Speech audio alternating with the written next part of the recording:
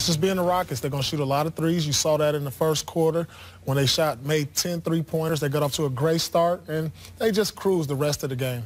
Almost too easy, if you ask me. Joining us now, a man who finished with 25 points and 13 assists, James Harden. Thanks for joining us. Oh, thanks for having me. James, you were on the team in OKC that went to the NBA Finals with KD and Russ. You were now on a team in Houston that's knocked on the door in the Western Conference the last couple of years. You added CP3 this year. You guys are playing terrific.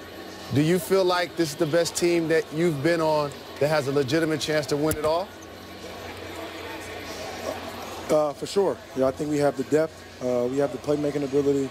Uh, defensively, we have uh, more than enough um, to compete with, you know, obviously the defending champion. So uh, easier said than done. Uh, we got the rest of the season to kind of catch our rhythm, um, but we definitely got a chance.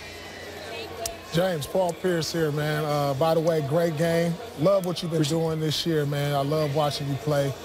You know, the Appreciate last the last three years, you've really put Houston on the map. Uh, you've come up short of the MVP. In my eyes, you should have at least one MVP in the bag. Do you feel like this is the year you get over that hump?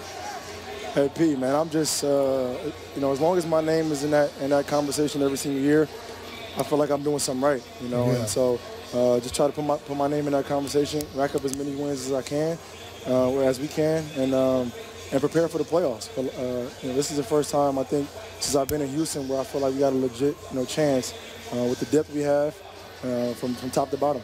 Well, keep doing what you're doing. You got my vote.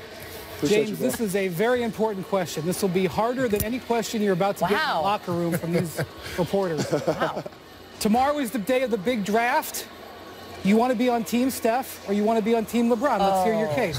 Here you go. Here you go. Here you go. No, honestly, I'm just uh, I'm, I'm, I'm more than appreciative to be a part of the game, man. Uh, I think it's kind of cool for you know it to have two captains and kind of you know pick the teams. So whoever team I represent, I'm gonna try to put on the show and have fun.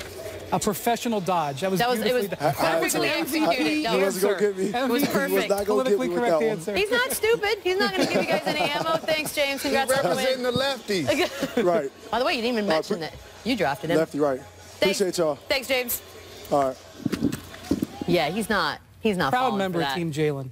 yes, indeed. Very political. Yeah, you didn't- you didn't answers, mention that huh? to him, by the way. Very political. Oh, I you like know. that, though. I like him. I like how far he's gone as a player. A media on and off training. the court. It definitely has media It's a training. skill. You know, if that was me, I was like, yeah, I deserve the MVP. I should have. This should of be my more- third MVP. No question. But one